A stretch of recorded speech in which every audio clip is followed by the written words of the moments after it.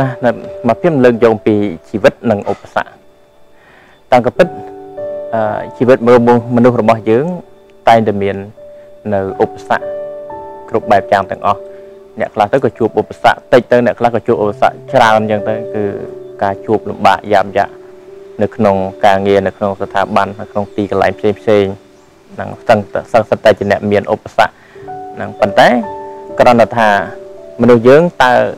ពុះពៀនឹងឧបសគ្គហ្នឹងឬក៏យ៉ាងម៉េចបើយើងចង់ពុះពៀយកជ័យជំនះជាមួយនឹងឧបសគ្គហ្នឹងគឺថាទោះបីជាលំបាកទោះបីជារឿងការស្មុគស្មាញនៅក្នុងកន្លែងហ្នឹងក៏ដោយតែអ្វីដែលសំខាន់គឺយើងពុះពៀតតតែមានធัว4ណាទី1គឺថាឆន្ទៈការពេញចិត្តយើងចូលការងារយើងប្រឡូកក្នុងការងារយើងរៀនឬក៏សិក្សានៅកន្លែងណាយើងពេញចិត្តហើយបានយើងទៅអញ្ចឹងយើងត្រូវមានឆន្ទៈហ្នឹងគឺសំខាន់ហើយ ណាការពេញចិត្តនៅក្នុងកិច្ចការងារក្នុងកន្លែងការងារឬការសិក្សាហ្នឹងធ្វើអីក៏ដោយបាទដែលយើងមានឆន្ទៈហើយទី2គឺមានឆន្ទៈហើយមានគេហៅថាវិរិយៈការព្យាយាមណាការព្យាយាមហ្នឹងបើយើងគ្រាន់តែពេញចិត្តនឹងអត់បានទេតតែមាននៅវិរិយៈវិរិយៈហ្នឹងគឺការជំនះរាល់ការខ្ជិលច្អោសដូចថាក្តៅពេកត្រជាក់ពេកឃ្លានពេករងាពេក អាហ្នឹងយើងយើងមិនត្រូវគិតអញ្ចឹងទេការខ្ជិលច្អោសរបស់យើងហើយយើងលះបង់អត់មានវិរិយៈមិនបានសម្រេចទេ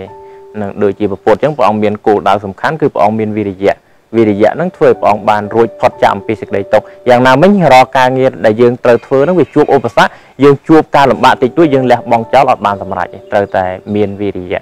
ណាការព្យាយាមប្រឹងប្រែងរបស់យើងនឹងដោយមិនលះបង់នៅការងារនោះចោលហើយមួយទៀតគឺថា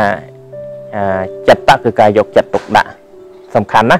យើងមានចិត្តការពេញចិត្តក្នុងក្នុងការងារមានការព្យាយាមហើយយើងត្រូវមានការយកចិត្តទុកដាក់ដ៏សំខាន់ធ្វើការងារហ្នឹងមិនមែនត្រឹមតែធ្វើឲ្យលែងចោលយើងអត់មានការយកចិត្តទុកដាក់អត់បានទេហ្នឹងត្រូវយកចិត្តទុកដាក់រាល់ការងាររបស់យើងឬការសិក្សាហ្នឹងហើយមួយទៀតគឺមាននៅវិមង្សាកោសាត្រេះរិះពិចារណានៅ អ្វីដែលយើងធ្វើទៅតើវាត្រូវឬក៏ខុសវាធ្វើទៅយ៉ាងម៉េចយ៉ាងម៉េចយើងត្រូវមានការត្រេះរិះពិចារណាឲ្យបានច្រើននឹងទើបយើងបានជំនះនៅឧបសគ្គបានបើមិនអញ្ចឹងទេបើអត់មានធម៌ទាំង4ហ្នឹងទេនឹងឧបសគ្គមានមកតិចតួចឬក៏ច្រើនក៏អីយើងលះបង់ចោលអាហ្នឹងមិនទៅបានគោលដៅមិនបានសម្រេចបានតតែមានធម៌ទាំង4ហ្នឹងអញ្ចឹងទើបធ្វើឲ្យយើងនឹងមាន